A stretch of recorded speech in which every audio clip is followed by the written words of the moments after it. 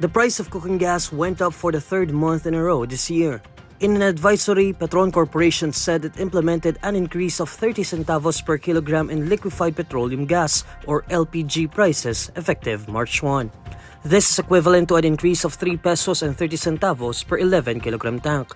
Petron added that the increase reflects the international contract price of LPG for the month of March. Last month, consumers were greeted with an increase of 10 pesos and 45 centavos per cylinder.